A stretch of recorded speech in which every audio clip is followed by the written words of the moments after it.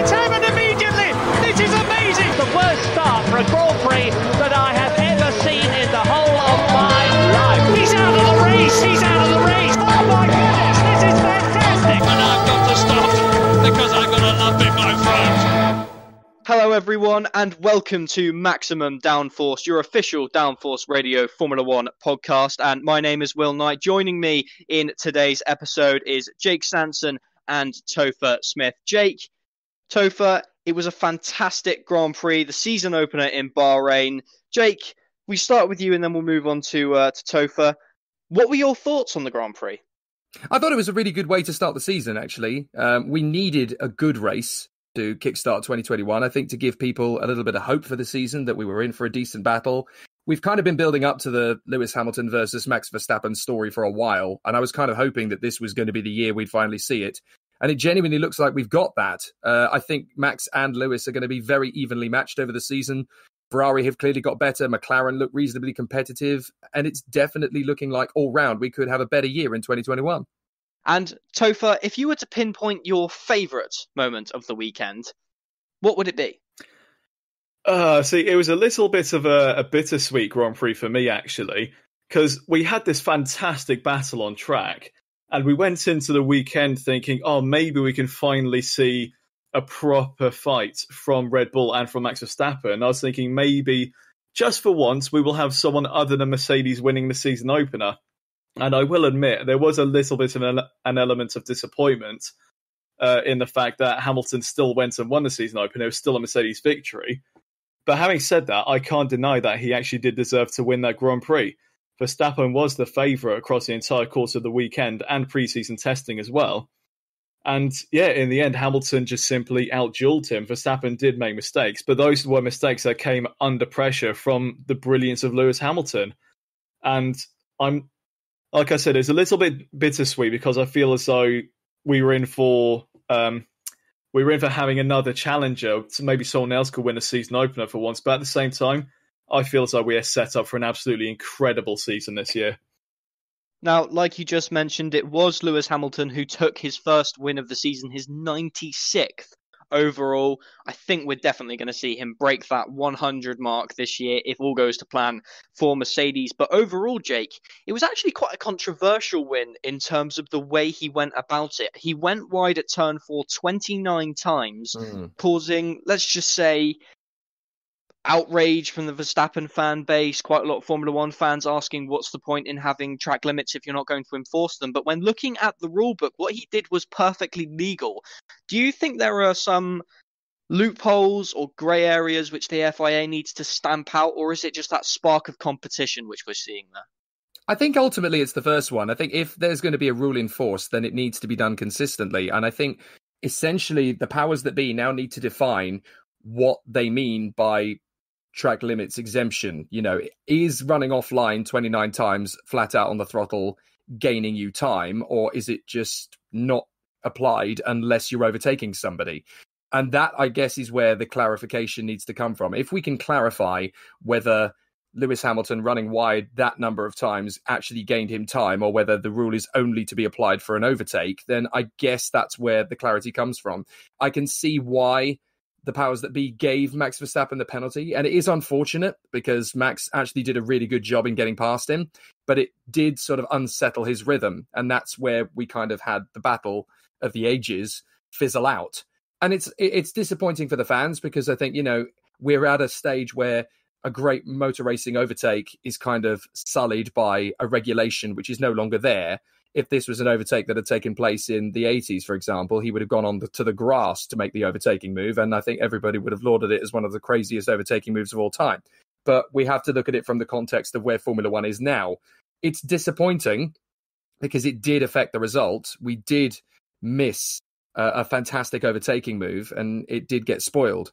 But at the same time, you can't take away from the fact that both drivers deserved the win. Both drivers fought 110% to go get it. And whichever one of them had been the winner, it would have been deserved. Now, when we actually look at the fact that he did go off circuit 29 times, as counted by uh, Tom Coronel, I saw a video on Instagram, him him posting something up there, and Christian Horner said that that was worth around 0.2 seconds every time Lewis Hamilton went off circuit. If we add that up, do a bit of maths, which uh, obviously Formula One sees a lot of, is 5.8 seconds. Topher, does that mean that Hamilton, if let's just say you were in the position of the stewards in that Grand Prix weekend, would you give Hamilton a five second penalty in terms of he did go off track mul- multiple times, and to some extent he did gain an advantage. Hamilton, uh, Verstappen was only eight tenths behind him come the, uh, finish of the race. If you were in that position, what would you do? See, me personally, if I was the uh, steward that weekend, I absolutely would have been giving him a penalty for that, and that's just simply because I have a very um a very black and white thinking behind the whole track limits idea. The white line is the white line. Mm. If you take the example of a football match, for example, you don't have the referee saying, "Yeah, so the ball's out of play if it goes behind the white line, but oh, that particular section of the pitch over there, if it goes behind the white line just a little bit, that's absolutely fine. You don't need to worry about that." No, you don't see that in football. So why do we have this situation in Formula One where they go off track multiple times, pass a white line? He did it 29 times as calculated, and I say, ah, nah, it's fine, it's okay. like, you know, I don't get the thinking behind it. They put the white lines down onto the circuit for a reason, and that is to define the racing circuit. And if the drivers are going to be taking liberties by extending that, trying to gain time, in this case, 5.8 seconds over the course of the Grand Prix, I just think, well, that's just taking the mickey a bit with what has been defined as the racing circuit. And for me personally, I think that what the stewards need to do is they need to apply the same rule to each and every circuit in saying that the white line is the white line, no excuses. If a driver is forced off the track by another driver, that's fine. You've been forced off, you've got, got nowhere to go. Like, you know, there's nothing you can do about that. But if you're repeatedly running wide and extending the track like Lewis Hamilton is doing, I think the leniency needs to be three times and you get a penalty because you might run wide just because you get it wrong. Like you might just run a bit wide, miss the apex, get some understeer or whatever. But if you do it multiple times, and as I said, I think it should be three times, you should get a penalty. Like the three strikes and you're out sort of rule.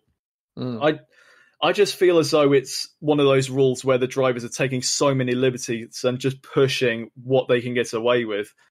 And part of me feels though that Lewis Hamilton was in some way pushing that limit himself. He knew that he was allowed to run wide at turn four, and he's making the most of that, which he will do. He's a racing driver, but it just makes a bit of a mockery of the whole track limits idea, in my opinion. And there was a whole situation where uh, Max Verstappen ran wide out to turn four and went around Lewis Hamilton to take the lead. In that situation, he is off the racing line. I mean, so he's off the track. He's past the white line, taking a position he did the right thing giving the place back there. I've got no arguments against that. But when lap after lap you are repeatedly running wide, extending the track limits, going over the white line, I just think that we need to do the same as what they do in football. If the ball goes all the way over the white line, it's out of play. That's my opinion. I think quite a lot of people will uh, will share your sentiments on that. I think you can agree as well, Jake.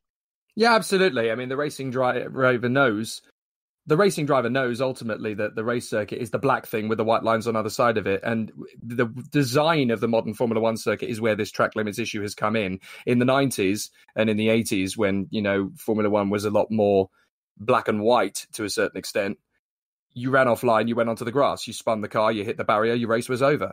And we have so many liberties now that, as Topher mentioned, you know, the drivers can take because of the runoff area. But at the same time, you know, I don't see any reason why we can't have grass next to the circuit. I don't see why we need these massive runoff areas. They say it's safety. Well, yes, but the cars are so much safer now than they ever used to be.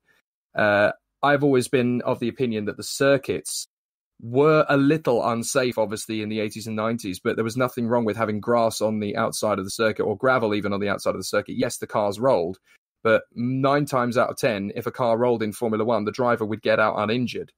So I don't really see that as being a decent argument. I think the runoff area gives racing drivers a get out of jail free card every time. There should be grass on the outside. There should be gravel on the outside. If a driver makes a mistake, it should be a penalty, whether that's to do with uh, a penalty from the officials if they gain an advantage from it, or you know you make a mistake, it costs you your race.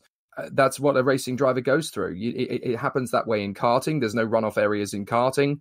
There's no runoff areas in the British Touring Car Championship. You go off, you go off. It's the end of the story. One thing I'd like to the to uh, add to the whole thing of the runoff areas. Mm. If it's down to me, this is what I would do. The runoff areas. I would have the uh, the normal curbing on the outside of the corner where the cars can run onto perfectly fine. Then after that, have a meter or two of grass where if they run too wide, the grass can throw them into a spin or just at least slow them down if they're able to catch it.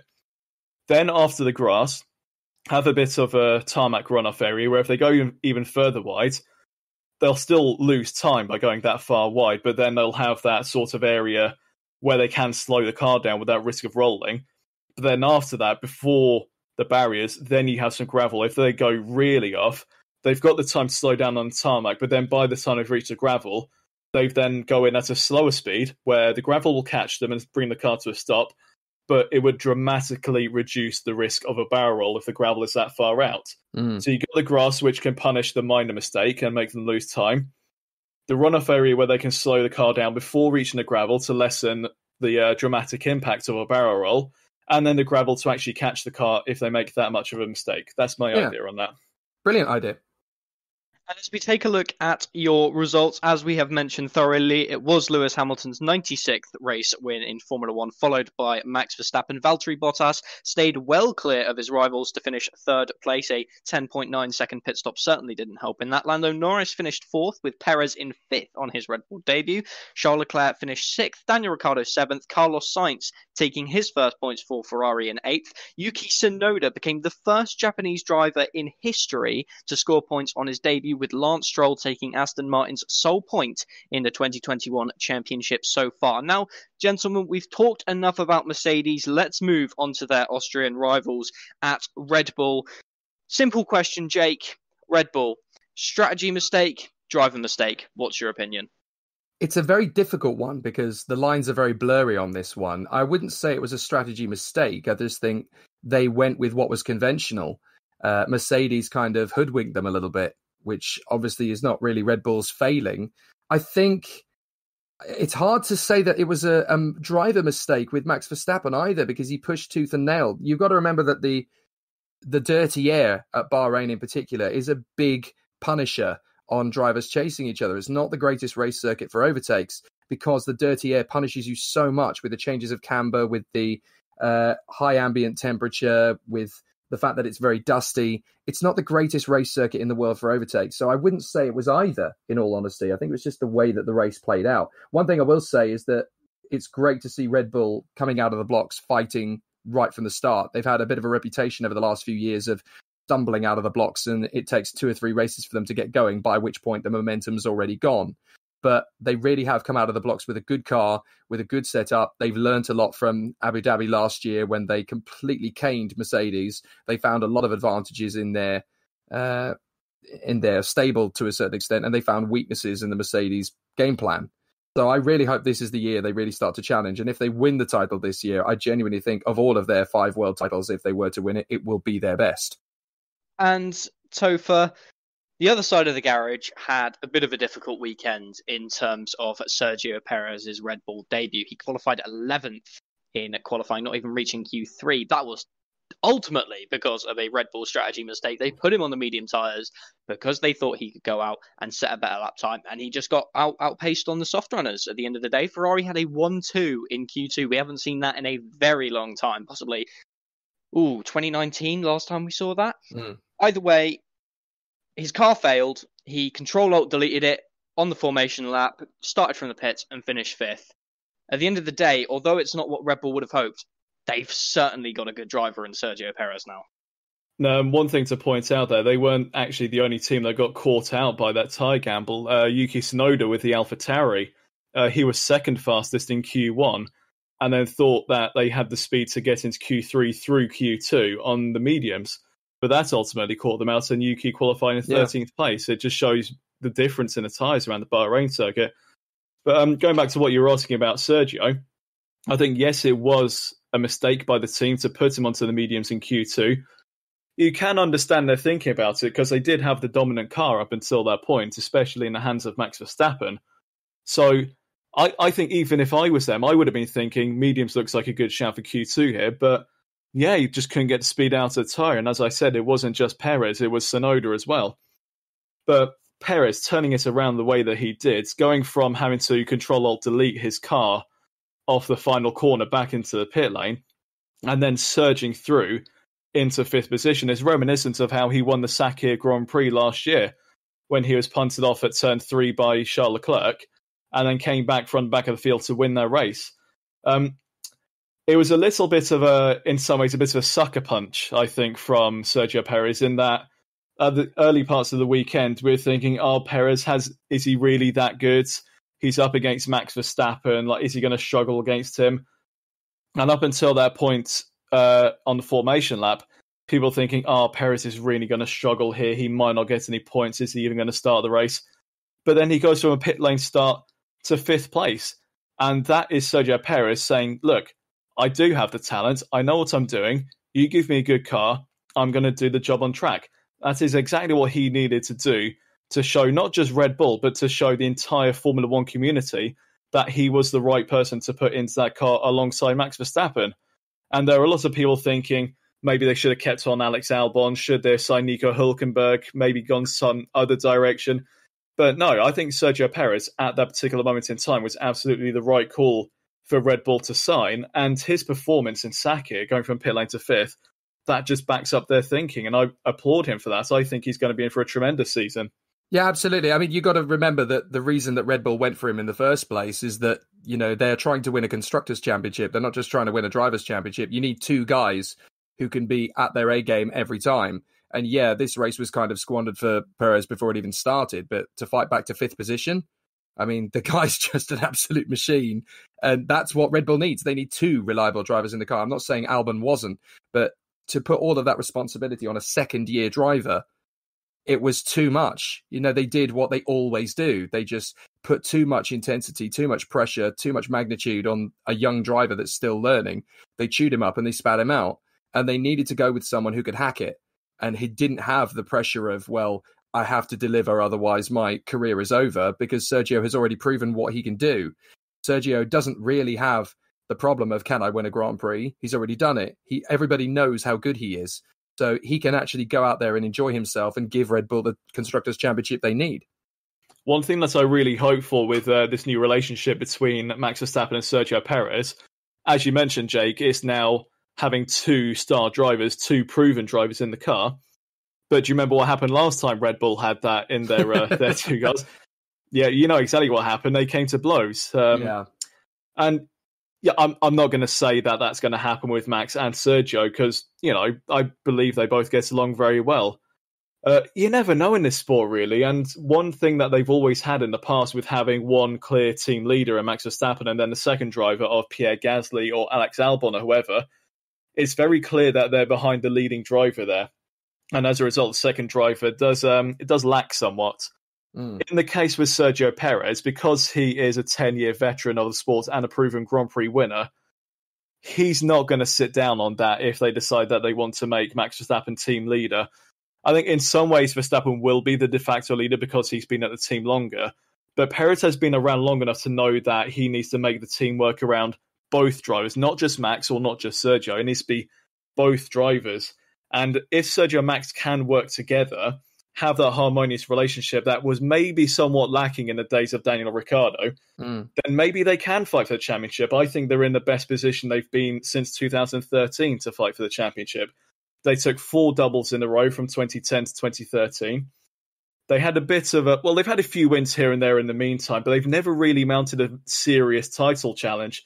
This season, as I said, I reckon it's their best chance yet, and I think they'd be stupid if they're going to let, let that go by favouring one driver over the other. Now, we look back in history, bit of a uh, a move on in, in subject in terms of rewinding the clocks. Hunt versus Lauda, Prost versus Senna, Hakkinen versus Schumacher, Massa versus Hamilton. Jake, can you connect the dots of what I'm trying to say here? I think you're trying to get towards the fact of Hamilton versus Verstappen is the next big battle. Well, actually, uh, yes, but also McLaren versus Ferrari. It's back. Ah. We saw Daniel Ricciardo, Lando Norris, and Carlos Sainz. But yes, I do agree with you in the fact that this is the next big fight. Anyway, nonetheless, Ferrari versus McLaren. It's an age old battle, a battle Hmm. which has seen many controversies, many swear words thrown around, and punches thrown. And if you look at Hunt, um, uh, women chatted up. I'm not really sure, to, to be honest with you. But either way, McLaren versus Ferrari is back. Leclerc versus Norris, Ricciardo versus Sainz, or vice versa. What do you think? I'm delighted. Absolutely delighted. Last year, Ferrari looked a shadow of their former self. They looked like Delara in the 1990s, not Ferrari in the 2020. And it was just so disappointing. So now that they've completely rebuilt themselves from the ground up, do you know, they've taken a leaf out of McLaren's book, interestingly enough. And this is a, a comparison I made at the weekend, and nobody had really twigged it until I mentioned it. But if you look back at McLaren a few seasons ago, they had Alonso on their team alongside Vandoorne. Now, Alonso was worth how much? You know, millions, millions and millions and millions per season. They were hemorrhaging money. They got rid of Alonso, or Alonso walked, whichever story you want to believe, and they brought in Sainz, who was worth a couple of million, and Norris, who was worth a quarter of a million. All that money they then invested back into the car, and you know what? The car's competitive again. Ferrari have done the same thing. Vettel was on a massive multi-million pound contract because he's a four times world champion. He could command that kind of salary. He walked because Ferrari told him there was no place for him in 2021. Who did they sign to replace him? Carlos Sainz, a guy who's not worth that much money, but is still a very handy racing driver. Ferrari have done exactly the same thing as McLaren did. They've realized there's no point spending multiple million pound contracts on a guy who's not going to be any faster than a guy who's worth two or three. And Ferrari have done exactly the same thing. And that's why they've been able to make a massive, significant change already in the 2021 car. Now, of course, it's not going to be a brilliant car this year. Again, I think they're still going to struggle to get a win out of it, but they can put all of that saved money into the resource and development for 2022. And I think next year Ferrari will be winning races and fighting for the championship again with Leclerc and Sainz. I genuinely can see it because they've done the sensible thing. They've realized there's no point spending masses of money on one particular driver because of their status when you could go for someone who's arguably a tenth of a second slower or faster per lap for a, a fraction of the money. McLaren have rebuilt themselves from doing that. Ferrari are going to do the same. This is completely why I agree with the idea of having a salary cap for the drivers. Yeah. As I don't believe that one driver is worth however many millions more than another. Because when it comes down to it, if you put all of those Formula One drivers in the exact same car, the exact same setup, and all that, all of the field would probably be within about half a second of each other. Like maybe like seven or eight tenths, but within a second easily if you had them all in the same car. Now, I don't believe that one driver is worth, let's say, 50 million for sake of argument, while another is worth only a quarter of a million, just like Lando Norris was. Mm.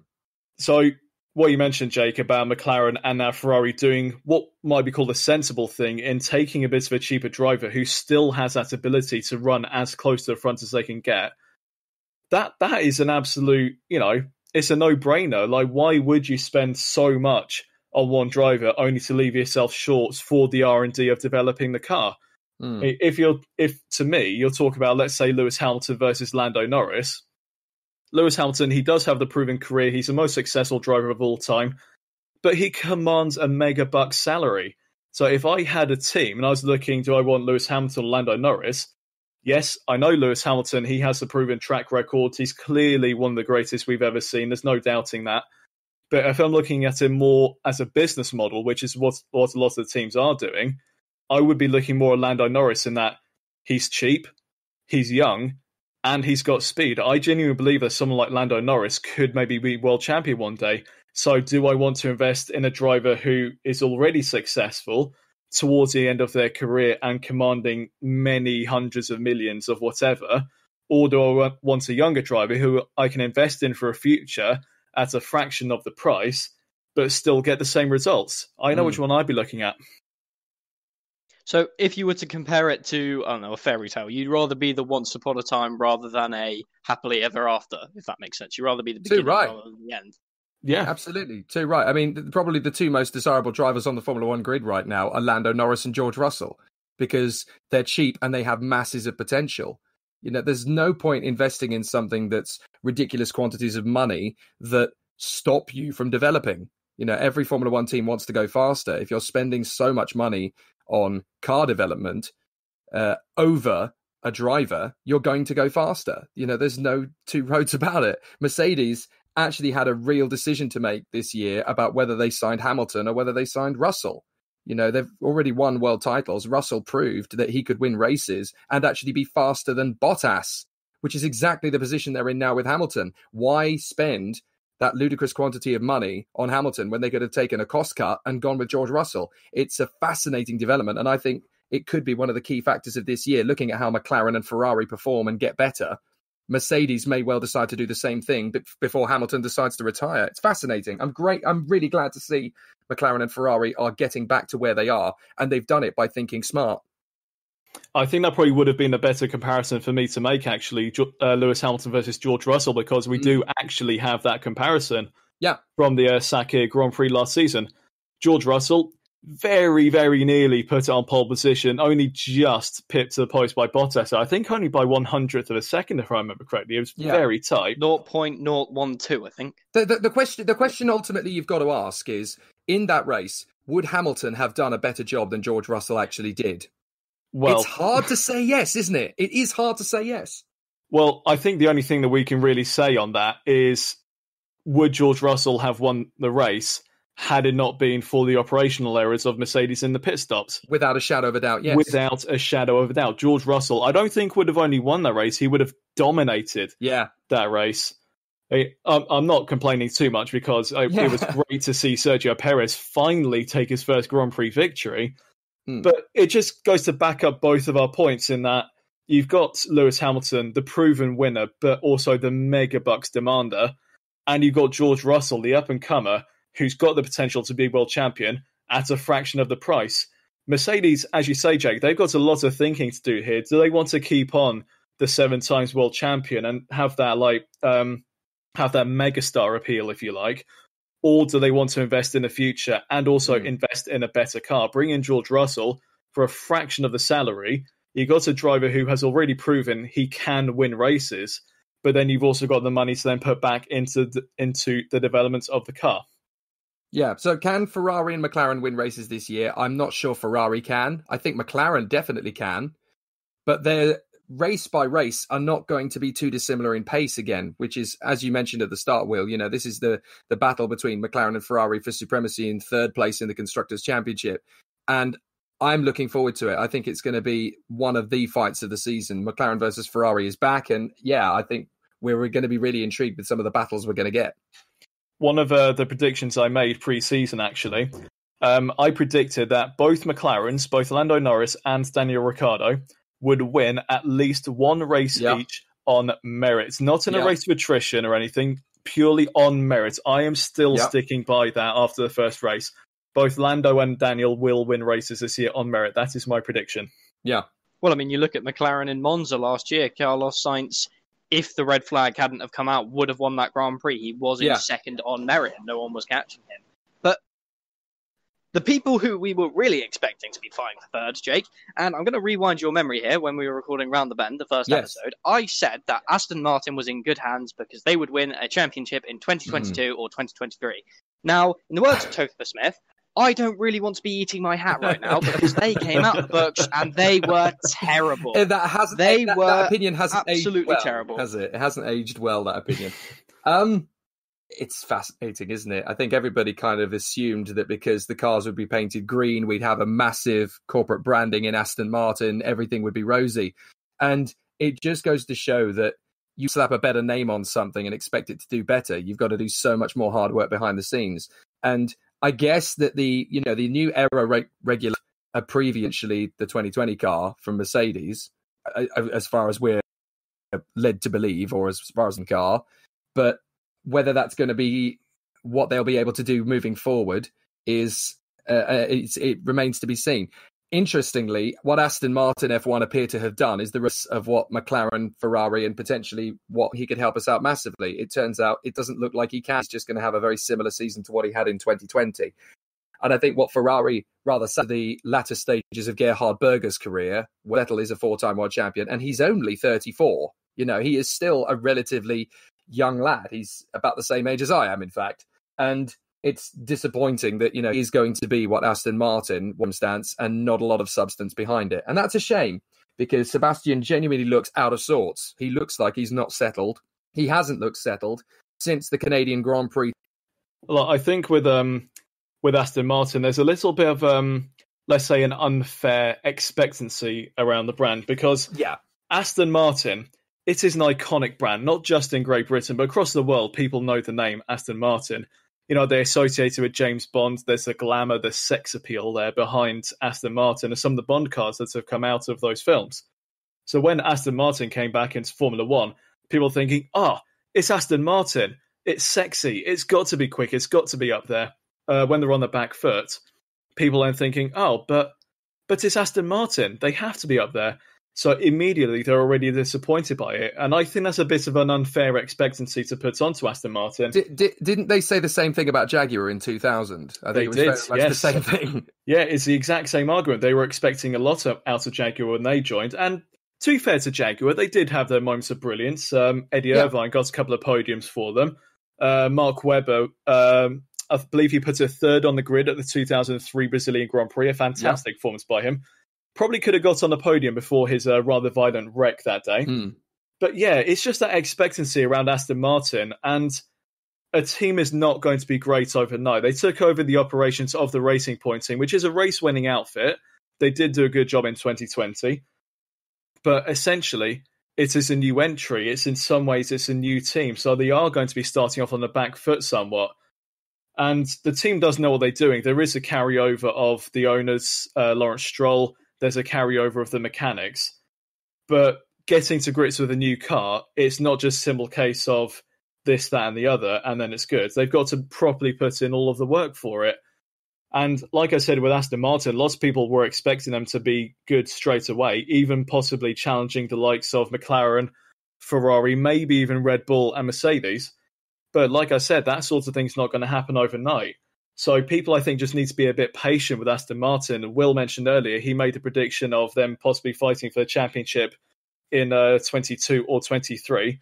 I disagree that it will be as early as that, but I'm not discounting the possibility that Aston Martin will fight for the championship at some point in the next Mm. few years. Maybe 26, 27, 28, maybe not even until the 30s. We just don't know for certain. But one thing that I do think people need to be um, aware of with Aston Martin is that success is not going to happen overnight and it's not going to happen automatically just because it's an Aston Martin. People need to be patient with them. Yeah, I, I- think essentially there's a there's a danger, isn't there, that people are going to consider that because it's Aston Martin they'll win straight away. But look, we've had three massive manufacturers come into Formula One in the last 20 years, and they've all failed to win a world title. Two out of three of them failed to win a Grand Prix. You had Jaguar, you had Toyota, and you had BMW. And the problem is when a car manufacturer gets involved as a formal entry into Formula One, it's very, very difficult for them to think like a Formula One team. You know, these car manufacturers, they plan everything in the boardroom. You can't win a Formula One race in a boardroom. You really can't. And we saw that with Toyota. How many millions of money was squandered and wasted trying to get Toyota to win a Formula One race from 2001 to 20, 2009? You know, they spent a decade and didn't win a thing. Uh, Jaguar, they spent five years, didn't win a thing. BMW, they won once in four years. And if they had actually thought about it like a Formula One team rather than a boardroom, they probably would have developed the car in 2008 and Robert Kubica would be a world champion by now. But, it, you know, Aston Martin, there is a danger, there is a risk that they're going to do the same thing. You know, too much of the hierarchy at Aston Martin might want a, a turn at the reins of the Formula One team. So I, my hope is that Lawrence Stroll is going to be the titanic totalitarian dictator in that team that he needs to step up and be and say, well, no, we need to run this like a Formula One team. We can't run this like a car company. Yes, obviously, we have the Aston Martin branding, and that's valuable, but we've got to run this like an F1 team. We can't run this in the boardroom because we've seen three massive examples of how it has failed. We need to win it like a Formula One team. That's how we need to operate. And that that that right there is the difference between Aston Martin and Racing Point. Yeah. Aston Martin, as you say, they're thinking a bit more from the boardroom, whereas Racing Point it was an independent team, privateer team. They were thinking like a Formula One team, and what happened? They won a Grand Prix. they did the job right. Yeah. Because, as you said, Jake, they were thinking like a Formula One team. I completely agree with you that Aston Martin needs to do the same thing. It's worth pointing out they also won that Grand Prix in two and a half seasons. Yes, absolutely. That's And also incredible. bear in mind when Racing Point first came into existence after they took over Force India. Look what happened at their very first race in the Belgian Grand Prix. Yeah, they nearly got the Esteban lead. Ocon- Esteban Ocon puts it third on the grid. Perez was fourth that day. They locked out the second row, and they could have uh, led the race into Les Combes on the first Yeah. lap. yeah. And a, a bit of a fun fact as well. I was actually at that Grand Prix, so uh, yeah, I was just a just a bit of a bit of a subtle flex, but uh, nonetheless, you take a look at Aston Martin, and realistically, the good thing, the what's the word, the advantage they have over the likes of Toyota, BMW, and Jaguar. Jaguar, there was a massive disconnect, like you said. They were run like a car company. The famous story of the someone in the Ford Motor Company saying, "Who is this Edmund Irvine we're paying millions of dollars to?" I'm not sure if that's actually actually true, but it wouldn't honestly surprise me. BMW wanted to buy Williams. Williams told them to go away, so they went away to Sauber.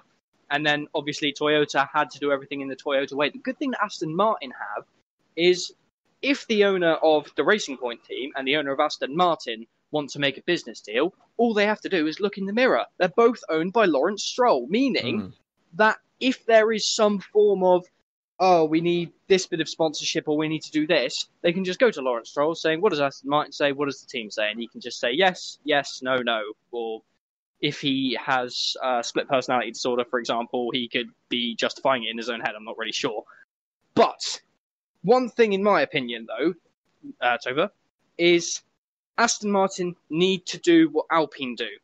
And Fernando Alonso has been very vocal about this. January 1st, put all of your wind tunnel development into the 2022 car. Do you agree with that? Um, I think it's very clear already that the 2021 season, for the title anyway, is going to be a straight fight between Mercedes and Red Bull. We might have the occasional moment of brilliance from the likes of McLaren, maybe Ferrari if they can get their act together a bit, which to me it appears they are doing. They are in the process of getting back up there. So I think any of the lower teams, anyone from the midfield to the back, I think they would be wise in putting their development tokens more into 22 than 21. Uh, the Haas team, that's what they've done. They've already said they brought, I think it's just one upgrade to Bahrain to start the season, but then that's it. That is their car for the rest of the season. They're putting all of their efforts into 22. Whether that pays off or not, that's another matter. But any of the other teams on the grid, I think they possibly need to be looking into doing the same idea. Aston Martin, I think they could benefit from that because it wouldn't only help their progress going into 2022, but it would also give them the time to maybe get their head in the game a bit more. As uh, Jake was saying, there seems to be that element of they're thinking more like a car company than they are a Formula One team. So if they have that season in 2021 where they learn the ropes a bit, they learn how Formula One works, then maybe they can start to think like a Formula One team a bit more, which could in turn be advantageous going into 2022. Alpine could also go down the same route, put all their efforts into 2022. I think Alonso does want to do that. The reason why he came back into Formula One is because he wants to sample the 22 machinery, but then have 21 as a year to get reacquainted with the sport. So I think he's doing the right thing there and saying we should probably look a bit more into spending our development tokens in 22 instead. And there's no guarantee at this stage whether it will be successful or not. I mean, at the end of the day, if we're going to have seven or eight teams that are doing that, they might all develop the car, but at the end of the day, there can still only be one winner. Only one team will be better than all of the others. So it's a bit of a fine balance to find because you've got the cars at the front who are still fighting for this year's championship to then get the prize money that they can take into 2022. But then you've got the people who are a bit more forward thinking of let's just ditch this season, look ahead to the future, look ahead to the regulation changes and how we can best uh, make the most of these new rules. It's a very fine line to find. And I think if you are looking a bit more into it now and not quite writing off your 21 season, but just thinking more into the future of how can we make this a better project further on down the line in the long term, I think that's going to stand them in better stead. Now, Jake, you've seen numerous regulation changes in your time, uh, 2009, 2014, back in the 19, I think it was 1997, uh, a regulation change came around. Yeah. Either way, what do you think is the game plan? What have you seen which is the best way to go about this? It's a difficult one because ultimately, this whole aero rake for 2021 has certainly made things a little bit more even. Um, and certainly, Toto Wolff has been uh, touted as saying, you know, clearly the regulations have been designed for this year to mix up the grid. And most people are basically looking at that going, good, you know, fantastic, brilliant racing for us. Um, it's difficult, you know. I mean, we we've got to a stage where with this hybrid car, you know, everything has been down to the technology, and it's been difficult to have a symbiotic relationship between aerodynamics and the hybrid tech. Uh, it was a lot easier back in the day when we were looking at internal combustion because the expertise of the grid had been internal combustion ever since 1950. So we've gone with a complete rewrite of how Formula One operates since 2014, and it has been difficult to adapt to it. And the car companies that have already been working with those technologies had an advantage. Mercedes had an advantage over Renault, Honda, and Ferrari. They just did. Uh, Honda probably was the second best in terms of the manufacturers that had uh, any form of hybrid technology. The problem is they weren't in it right from the start, so they were always on the back foot. Uh, so it's difficult. I mean, w- obviously, the ultimate end game has to be that the racing's got to be more competitive. If there was no DRS, we would not have seen as many overtaking moves in the last few years as we could have done, and that's because of the problem with dirty air. I think it comes down to the difficulty essentially with bringing the new regulations in through COVID 19 last year. We got delayed. So this year we would have the cars that are apparently going to be much better to run in dirty air. So I think, again, people need to be tolerant of this season. They need to just wait it out and see what happens with 2022. If 2022's regulations don't work, then we have a problem. I think there's still a little bit of waiting time to come for those uh, who are not convinced by it. But you know, the people that are involved in making these regulations work are people like Ross Brawn and Rob Smedley, who are actually you know geniuses in their field who know how a Formula One car works, know it inside and out, and know how the science of it is going to operate. With those things taken into account, I think we can all be very, very excited about what 2022 is going to bring but we have to stay loyal to the sport in that time. We have to remember that yes, Formula One is fickle; it does take time, and also to remember that you know the best teams with the biggest budgets will always be the ones ahead. You can't expect Haas to win every Grand Prix. You know, underdogs only triumph under certain circumstances, and Racing Point needed all the decks of the cards to fall in the right way for them to get the win in Sakhir, but they still deserved it. So you, you, there are so many different balancing acts, but ultimately the future does look bright. It does look rosy. You can see the big development shift that McLaren and Ferrari have made, for example. There is change coming. It is going to take some time, but the future does look rosy. And uh, just a, a, bit of a um, a pause from the uh, the discussion of modern Formula One. Just a new, a little segment I wanted to introduce. I've taken a uh, a leaf out of your book, Jake. I like your segments in your other podcasts. On this day in Formula One, did you know that Michael Schumacher and Ralf Schumacher made history by becoming the first ever siblings to lock out a front row? Can you tell me what year and what track? Oh, oh! I, I think it was two thousand and one. Okay, um, saying 2001. Oh, it's early March, so it's got to be Brazil. I was thinking maybe San Marino. Ah, possibly. Um, yeah, I, am going to go ahead and say Imola 2001, but that is with a slight air of hesitancy. Am I allowed to change my answer, Will? You can. Uh, I've, I've locked in Topher's answer. Your answer is free to go. Malaysia. Ooh, well, the good thing is, Jake, is you're actually wrong, and so is Topher. It was ah. indeed Brazil, 2001. Oh, no. I was right the first time. Oh, At least blast. I got the year right, so I'm claiming half a point yeah, Yeah, you can claim half a point for that. I can't believe I changed my answer. That's rotten. what I'll do is I'll, I'll, buy a whiteboard and I'll, I'll start like a tally chart. Whoever, anyone who comes on the podcast will make a championship at the end of this year. Whoever wins gets a Cadbury's chocolate bar or something. I'll get to I'll get to be as nerdy as David Addison one of these days. I will. I will. So technically I'm leading the championship with half a point. Yeah. technically you are, yes. We should uh we should call you You Niki are Niki Lauda, Lauda in 1984. oh dear. Right. Anyway, back to the serious stuff. Yes, Speaking of Alpine and Fernando Alonso, Jake, has Alonso made the right choice in coming back, or did a sandwich wrapper get in his way of that? No. I'm sorry. I, I I genuinely feel this is a waste of a seat. Uh, I like Fernando. I think he brings a great amount of credence and reputation to the sport, but he's on borrowed time. Uh, there's only ever been one driver in the history of the sport to have left for a decent chunk of time, come back and made a success of it. And that is Niki Lauda, who was one of a kind, literally one of a kind. That will never be repeated in quite the same way. Niki was born to be uh, living on the edge, on the limit as a racing driver. I mean, I know you could probably say that about Fernando Alonso as well, but I just don't think Fernando's made a sensible decision. Formula One has changed a lot in the 30, 40 years since Lauda's comeback. And it's just a completely different sport now. It has completely evolved, even in the three years he's been gone.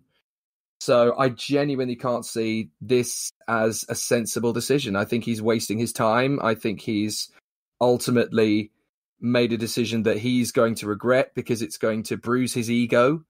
Uh, and I think the Alpine team are going to regret it because, again, they could have gone for someone a fraction of the price and done exactly the same job. Uh, the, the, the thing is, so many of these teams rely upon a name. I mean, Renault, they changed their name for this year to Alpine essentially because the Renault F1 team was affecting Renault road car sales. They weren't having the results that they wanted. There was an unreliability issue, and they genuinely felt, well, this is actually causing a bit of an issue for us in the boardroom. So if we rename it to something that is affiliated but is not directly associated, then we have a chance of increasing the Renault car brand again. And that's why they've done it essentially. So Alpine is there as their luxury brand in the same way that AMG is the luxury brand of Mercedes. And they've basically decided to go down a route of, well, if we cover up our failings by slapping a new name on the team, bringing in a two times world champion, everything will be okay. And that fundamentally isn't going to be the case. I still don't quite understand what Esteban Ocon is doing in the car. I don't really rate him. It's a shame, but I don't think he's the right direction. He has got tenacity when the car is working well, but when the car isn't working well, I just don't think he has the core strength to make it operate. And that's what you need. You need a driver who can develop a car and uh, get round its failings. I think they should have gone for Pierre Gasly, in all honesty. I think commercially he was the better decision. I think maturity wise he was the better decision. And he could have brought more to the brand. So this is going to be a disappointing, embarrassing, depressing season for Alpine. And I just hope it's not going to be their last year because it could well be. I think this is going to be a little bit of a make or break season for Esteban Ocon personally. Mm. Because he's up against a two time legend, that is Fernando Alonso, in the same car. And if Ocon does, as some people are expecting, get trounced by Alonso over the course of the season, that's not really going to do his reputation any good. And a lot, no. um, Ocon might well be out of a seat at the end of, of the season if that happens. And I agree with you, Jake. I think that if Ocon does lose that seat, I think it'll be Pierre Gasly that goes to Alpine and leaves the uh, Red Bull family. Mm. But on the flip side, on the other side of the, of the coin, if Esteban Ocon beats Alonso over the course of the season and shows everyone just how good a driver he is, and don't forget, this is a guy that won the GP3 series, which you don't do by accident. You've got to be a good driver to win in GP3. And if he does beat Alonso over the course of the season, that's just going to cement his reputation as a bright young star. And that might even lead him to get back in the good books with Mercedes. Because don't forget, a few years ago, Ocon was the next in line for a Mercedes seat. It's very clearly George Russell now. He's very clearly the next in line. But imagine a scenario where Esteban Ocon beats a two time legend in Fernando Alonso in the same car, people might start to look upon him a bit more favourably. Now, this is an interesting point I've suddenly worked out. Uh, we've started talking about Aston Martin and Alpine as a team, but the close nature of Mercedes and Red Bull and the resurgence of McLaren and Ferrari is actually going to cause a massive problem for any team that isn't one of those four. Because look, there are only 10 point scoring opportunities in a Formula One race. That's eight cars already accounted for. Now, if they're going to continue to be as strong, as competitive as we genuinely think they are, that means realistically there are only two, maybe three or four at the most point scoring opportunities for any other team. This is going to be a brutal year for the fight for fifth position in the Constructors' Championship ultimately, because you're going to have AlphaTauri, who looks strong, Aston, Alpine, Alpha, and Williams, who all look relatively similar in terms of raw one lap pace, and Haas, who are going to be on the back foot every time. There could be only a handful of points scored in the Constructors' Championship by the likes of Aston Martin and Alpine. So this could be a very brutal year for all of them. And with that in mind, Alpine needed to make a long term decision that was sensible. And I can't see in any scenario spending a ludicrous amount of money on a two time world champion that's been out of the sport for two years as a logical choice. See, just going back to the um, original question of Fernando Alonso, as we have done, Hmm. I can get his thinking behind wanting to come back. I can understand that. 'cause he said himself he's aiming more at 2022 when we have the regulation changes, where it might turn in their favours. I can understand that thinking behind Fernando Alonso. But if I was him, if I was Fernando Alonso, I actually would have gone over to IndyCar for a simple reason that he is in a very strong position to get the Triple Crown, which only one person has ever achieved Hmm. in their career. And Jake or Will, do you know who that one person is? It's Graham Hill. It Graham is Hill. Graham Hill, the only person to have won the Triple Crown, which is the Monaco Grand Prix, the Indy 500, and the 24 Hours of Le Mans. Alonso's already won Monaco and he's won Le Mans. He's had a couple of goes at the Indy 500. Could have won it on his first time out, actually, with the McLaren project. He had a tremendous run of that race. Um, yeah, we won't mention the uh, the Honda engine that was around at that time, but um, I feel as though that if he had gone over to IndyCar on a more full time basis, he could have spent the first part of the IndyCar season getting acquainted with the series again, getting comfortable in the car, comfortable with how IndyCar works. And then when it comes to that point in the season, in the month of May, when they go to Indi- Indianapolis and drive the greatest spectacle of in all of motor racing, I feel as though he would have been in an even better position to win the Indy 500. And if he had gone and gone a job done, just if, that would truly cement his status as one of the all-time greats, not just of Formula One, but of motorsport. Only the second person in history to achieve the triple crown of motorsport. Is that maybe a better legacy than coming back to Formula One and getting a third title? If it was me, like I said, I would have gone after the triple crown. Yeah, no, I, I, I'm in all honesty, Topher, I'm surprised you didn't um, say that Formula E would be somewhere where Alonso could go because that would bring amazing commercial opportunities for that sport. Obviously, it is a place, it's a place where they are trying to get more and more drivers who have the biggest star opportunity in racing um, to try and boost the fan base even more than it's already growing. Anyway, this is a this is a Formula One podcast. We can talk about things like this in in in other podcasts. But I think I wrote about this in uh, in the race debrief I did uh, for for Downforce uh, UK. Yuki Tsunoda. Everyone voted Sergio Perez as the driver of the day, but Yuki Tsunoda, an absolutely fantastic debut, Jake, for Yuki Tsunoda, the first ever Japanese driver to score points on their debut, the first driver to score points, I believe, since Kamui Kobayashi in 2012, I believe it would have been, if I'm not mistaken. It's about right. Yeah, absolutely. And to be fair to Yuki Tsunoda, you know, he was the highest Formula One driver on the grid who wasn't driving a Mercedes, a Red Bull, a McLaren, or a Ferrari. I mean, that's very impressive when you can, we consider those are the big four teams. For the guy to be ahead of everybody else, to be a rookie, you know, it shows that people who were doubting whether Yuki was a good choice for Alpha AlphaTauri, of which I was originally one of them, uh, have now got to eat their words. You know, he did a fantastic job in Bahrain. He had a difficult opening lap, but he stayed in the game. You know, he lost a few places, but he kept his car in one piece. He didn't pick up damage. He was very sensible. He was very mature, and he figured out where his difficulties on the opening lap could be regained later. And he was so brilliant at maximizing every opportunity. And he just went for every overtake uh, as if other drivers were standing still. You know, he had a real gumption and a real determination, which we haven't really seen since Takuma Sato in the Super Aguri days. So it was really nice to see that, you know, Yuki was coming out of the blocks with something to prove. I think he had seen, obviously, the likes of Buemi, Vergne, Alguersuari, uh, Gasly to a certain extent, Kvyat, Albon, all coming into the sport and being picked up, chewed up, and spat out.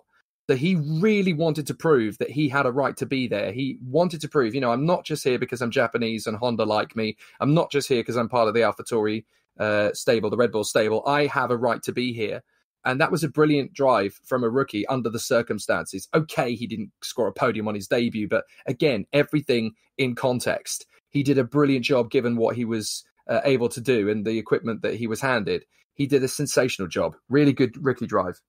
And uh, one thing about Yuki Tsunoda, um, I'd actually like to liken him to the uh, career progression of Charles Leclerc.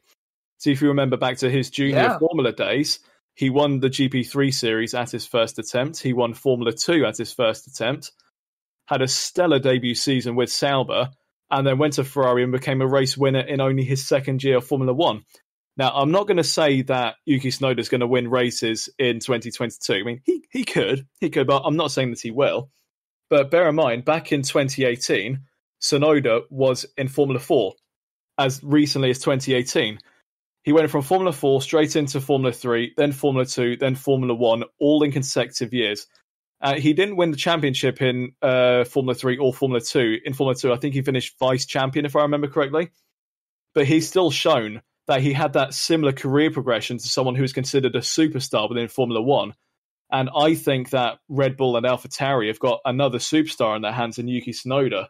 A lot of people thinking, well, he didn't win championships coming up through the ranks, and yet he's still in Formula One. Does he really have it? Well, look at what he did in the Bahrain Grand Prix, as Jake described. Has he got it? Absolutely, he's got it. I uh, reckon, and well, you know, I'm becoming a little bit known for my bold predictions now. Yuki Tsunoda will become Japan's first Grand Prix winner. That's my prediction for him. Now, here's an interesting question. If Verstappen does go to Mercedes in 2022, as some people think, do Red Bull replace him with Tsunoda? Do they leapfrog him ahead of the likes of Gasly and uh, possibly Albon as a return? Is Tsunoda now their new choice potentially? You, you just never know with Red Bull, do you? I mean, bear in mind back in 2016 when Red Bull demoted Danny Kvyat down to Toro Rosso, one race after Kvyat got on the podium. I mean, Kvyat, like, he had the one bad opening race in um, Sochi when he crashed into Vettel. Like, yeah, that didn't look good on Kvyat. But in the race before that in China, he finished on the podium. He did, yeah. And I believe that Kvyat was actually set for a really strong season. And that car was a proven race winner. Mm. If Verstappen won a race, Ricciardo won one or two races that year. I reckon if they kept the faith in Danny Kvyat, he possibly could have won a race or two for himself that season. yeah. Yeah. so cutthroat is the nature of Red Bull that they took that immediate uh, draconian decision of let's kick him down to Toro Rosso and bring in Max Verstappen. Now, in that particular instance, obviously Max Verstappen was a future superstar. No one was denying that. And in hindsight, it was definitely the right choice for Red Bull to make, as they've now got a 10 time Grand Prix winner and someone who is now fighting for a championship. But it just shows that you never really know with the Red Bull Junior program, with their way of bringing drivers into AlphaTauri and into the main Red Bull team. Kvyat looked like he, he had a lot of potential and could have won races, but then they kicked him out.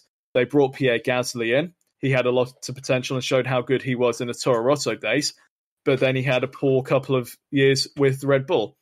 In the case of Yuki Tsunoda, I reckon he has got the chance to make a really good career out of this and go on to win races, maybe a championship if he gets a good car underneath him. But you just never know with the Red Bull family. They could promote him up to Red Bull for next season, but then if he has a little bit of a poor season alongside Verstappen, if he stays, or let's say along Perez if they keep him on, or if they bring back Albon or whoever, you just don't really know. I'd like to think they would treat him right. He's definitely one of the best drivers they've brought up through their ranks in recent years. Uh, it's so difficult to know what, what Red Bull are going to do with their drivers. We all thought that Pierre Gasly would do a good job with Red Bull. He ended up getting promoted back down to Toro Rosso. Same with Alex Albon. Everyone thought that he'd do a good job. Could have won a race or two, but ultimately he was demoted again as well. It's you just don't really know with Yuki Tsunoda. I feel as though he does definitely have the potential to go on and have a successful career, but at the end of, the day, it's down to what Red Bull decide to do with their drivers and how cutthroat they're going to be. Yeah, no, I think I uh, I completely echo your statements in terms of Yuki Tsunoda, a fantastic talent, but Red Bull cannot make the same mistake that they've made with almost every single driver that has come through their junior program, bar maybe three or four, possibly five, if you're taking a look at other drivers who've gone to other series. But the other two rookies, Topher, really didn't have a good day in the office. Mazepin didn't even make three corners and, and ended ended his race in the wall. Mick Schumacher spun on the lap um, preceding the uh, the safety car right after it came out. Turn four, he spun. The balance of that car is massively off. There's two rookies. It's it's just going to be a tough season for them, isn't it? I know we knew that this was going to be a difficult year for the Haas Formula One team, but I think Bahrain really just compounded the struggles that they're going to see this year. And uh, bear in mind that Mazepin also span uh, twice over the course of the weekend. Uh, he span in qualifying as well, which ruined the laps of quite a few people. But um, it's a little bit difficult to know exactly what's going on with Haas. I mean, we've already said that they're focusing a bit more on 22. And is that at the expense of a car that is drivable, maybe? Mm. Uh, Mazepin, he had his spin on uh, turn three of lap one, which, um, given his uh, reputation, let's say a lot of people were. Uh, what's the word? Um, a lot of people were ripping into him for that. It doesn't help, does it? It, it really doesn't, doesn't help, help at all. But the fact that Mick Schumacher then went and span it himself only a few laps later makes yeah. me think that maybe it wasn't just a simple case of Mazepin arguably not being good enough. I'm not saying that he isn't good enough, just arguably. Mm. If Mick Schumacher, who is very highly rated, then goes and does a similar mistake in the same car, is that more down to the drivers or is that more down to the car? I think that's the question they've got to ask mm. themselves here. I, I think you, have made a good point, uh, interestingly, because you know if it had just been Mazepin, I think everybody would have looked at it to say, well, that proves that then. But the jury's still out, isn't it? Because Mick Schumacher, we all consider to be an incredibly talented driver. I mean, Yuki Tsunoda, who was third in last year's points in Formula Two, he bagged a ninth place finish in the points. And Mick Schumacher, who won the title in Formula Two last year, couldn't even get the car around on the first racing lap on cold tyres, keeping it in the right direction. So it's difficult to justify, you know, that this is purely down to Mazepin. I think this is wholly down to Haas. The difficulty is is that they've clearly decided that sponsorship money is what's going to keep them alive. They've made a lot of commercial decisions based on the longevity of the team, not really focused on the car, and tried to build this all up for 2022.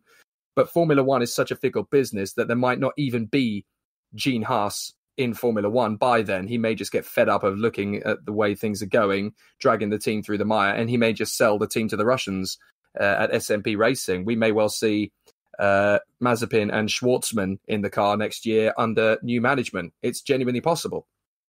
It's very possible. It could maybe be a sale to uh, Dmitry Mazepin, Nikita's father. He's currently yeah. the uh, title sponsor of the team with Uralkali. And um, yeah, Mazepin's been getting a lot of flack for obvious reasons that we won't really discuss in any detail. But um, after the uh, the incident that he had, he did come out and apologise and say he's going to try and do better. Yeah. T- take that however way you will. Some people are saying that, oh, he's just saying that. Me personally, I'd like to actually give him the chance. I'm not at all condoning what he did. I think he was completely in the wrong for what he did in the incident but he has made the apology. He has said he's going to do better. Whether you think he's not serious about that, that's for you to decide. But I'm thinking, let's actually give him a chance to do it. If we're in the same position this time next year where he's still a little bit of an idiot, to uh, put it quite lightly, then maybe we can start saying, like, does he have the right attitude for the sport? But uh, personally, I'm getting a little bit fed up of all the hate that's not just directed at him, but also directed at the team. I've seen a lot on Twitter and on Facebook. Anytime that the Haas social media person puts out a post, it doesn't matter what it's about. It could be about Nikita, it could be about Mick, it could be, oh, here's a behind the scenes shot of our mechanics or whatever. There's always going to be someone who will comment hashtag we say no to Mazepin or something like words to that effect. Yeah, even more derogatory. I mean, let's be fair, the most undesirable job in Formula One right now is the social media guy at Haas. It is the most undesirable job yeah, in Absolutely. And to be quite honest, what's it to do with him? What yeah. is it to do with a social media person? Nothing. It's got nothing to do with them. So all of these people who are putting out on Twitter hashtag we say no to Mazepin, aiming it at the guy who runs the social media, he he's got nothing to do with it. He doesn't decide on who the drivers in the car are going to be. That's down to the management of the team, and yeah. it is not the management of the team who are running social media accounts. Yeah, exactly. there are some people who will think, well, it's the only way we can convey any sort of message. But at the end of the day, it's a bit of a cul-de-sac they're going down with that route because the management aren't the ones who are going to be looking at the social media. And as long as uh, Nikita and his father are bringing money into that team, he will still be in the car. And if they do end up selling to the Russians, as you said, Jake, maybe he's in the team for the long term. We could end up seeing another Stroll situation where Lawrence Stroll buys out the team and gives his son a permanent seat. I just feel as though that with Nikita, I'm not condoning what he did at all. It was absolutely wrong what he did. But I feel as though we need to at least try and move on from it. If you still have problems with him, that's up to you. But at least give him a chance, I think. And now that we've talked about all of the drivers and all of the events that happened, well, I say all of the events, uh, Bahrain Grand Prix was so eventful that um, we can't really cover everything in terms of uh, all of it. But nonetheless, the next race, the Made in Italy Emilia Romagna Grand Prix, that is quite a mouthful to say the least. Jake, yeah, try saying your... it in Italian. Oh, I, uh, I got a C in French, so I doubt I'll even be able to, um, to do that well. before, before we even talk about um, the Emilia Romagna Grand Prix, there's the team. It's quite funny because they are the team that's very easy to forget, and we actually did forget them. And it's Alfa Romeo. We didn't mention them because they didn't do anything over the course of the Grand Prix. Uh, and the same with Williams. They didn't really do anything, did they? Neither team really showed up, in all honesty. And it's a shame because like Giovinazzi qualified 12th and Raikkonen qualified 14th, so there might have been something, but they just disappeared and faded, as did Williams, which is unfortunate because both teams are obviously there to play ball, and they didn't really play ball at all. I kind of get the impression from both of those teams that their qualifying pace is a lot better than their race pace. Yeah. as you said, Jake, Giovinazzi, for example, he qualified in 12th. That's a great effort from an Alfa Romeo because this was a team that last season and season before were fighting to get out of Q1. So for him to qualify 12th on the grid, that's a really good achievement for Alfa Romeo and for Giovinazzi himself. But then, as you said in the race, Jake, what what happened with them? I, I, I don't know. I hardly saw them in the race. I can tell you. They literally were just conspicuous by their absence. So I'm kind of hoping there's more to come from both teams. Yeah, absolutely. I completely agree. I think realistically, you take a look at last year and the year before, and it was almost the Carlos Sainz curse in terms of he was never on TV. Yeah. You look at this year, I think that's going to be the same for Alfa Romeo and Williams, unless they cause a great huge pile up at turn one. To be honest, I think realistically, both teams are in the um, yeah the the nothing zone that they can't approach the uh, the top guys, but they're nowhere near Haas, so they're just sort of there. Very true. But uh, yes, anyway, so Jake, your predictions for the Made in Italy Emilia Romagna Grand Prix. I think it's going to be a Verstappen win this time. I just have a feeling that the Red Bull's going to be a little bit stronger than the Mercedes uh, at Imola. So I think we're going to get the title off to a, a really good start with Verstappen getting one over on Hamilton. They'll be one and two dare I say, Ferrari on the podium. I think maybe there's a good chance of it this time. Charles Leclerc is a very good driver out of the blocks. So it's going to be a really interesting charge back for him. Uh, McLaren will probably be about fourth and fifth again. There might be a point for Alfa Romeo if they can get their act together. It's genuinely going to be interesting, but I think Verstappen might just have this one over Hamilton this time. Uh, you just don't know do you? it's mean, brilliant not knowing, isn't it? It's brilliant not knowing. Take a look at the Bahrain Grand Prix. Verstappen was the dominant force in practice, in qualifying, but then he didn't win the race. It didn't happen for him. Mm. And I think the sensible choice is probably Verstappen again, but you just don't know, do you?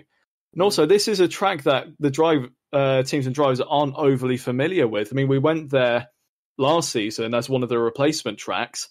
But when was the last time that we were at Imola before that? It was um, like 2005, 2006, sort of mid naughty sort of times. Mm, 2006, yeah. Yeah, it's 2006. So the teams and drivers don't necessarily have the familiarity. They obviously have the data from 2020. But then what about the new drivers that are coming through? Someone like Yuki Tsunoda, for example. I don't think he's ever driven this track. Um, it's it's just so difficult to know what's going to happen. Um, I th- I think I should probably uh, hedge my bets a little bit and go on a safe bet. Um, like Jake said, I think maybe Verstappen's going to win it this time. No guarantee that he will. And um, if uh, if Ferrari does get on the podium, I'd, actually quite like to see it be Carlos Sainz.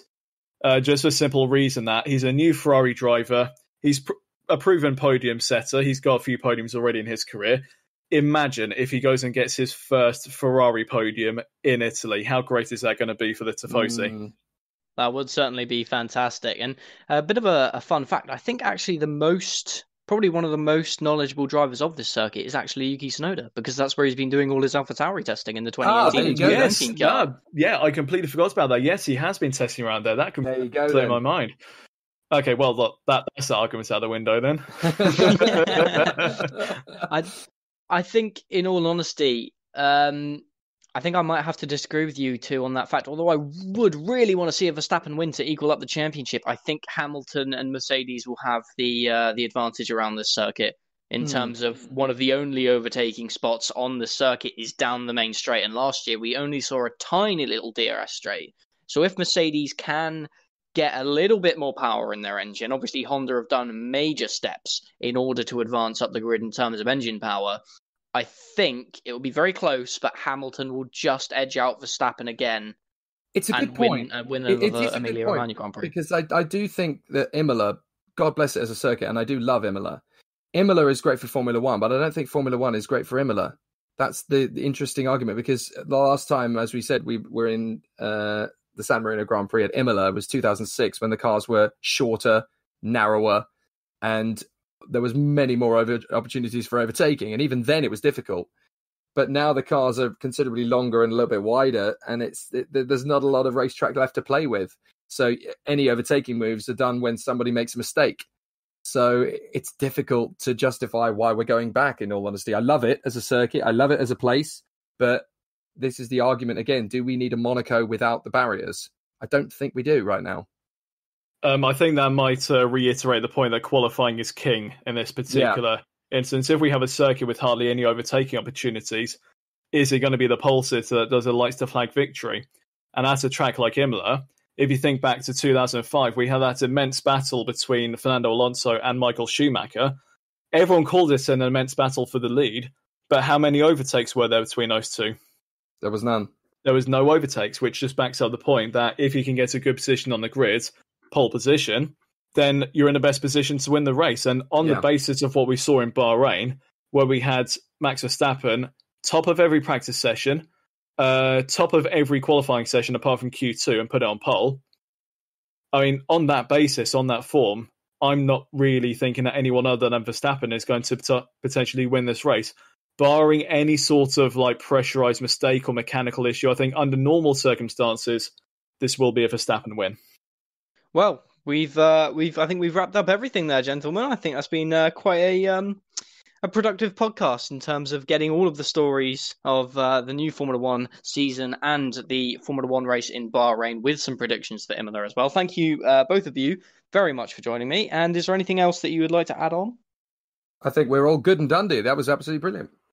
Um, just want to remind everyone to make sure to follow follow us on all of our social media platforms. Give us a follow on Twitter, Facebook. We've got our own Instagram accounts. So yeah, just make sure you follow us. We'll keep you up to date with all of the latest Formula One news with more podcasts in the future.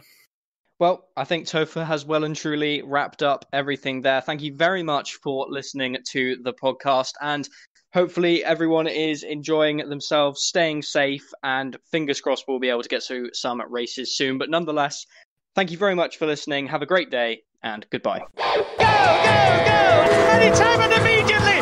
This is amazing! The worst start for a Grand Prix that I have ever seen in the whole of my life. He's out of the race! He's out of the race!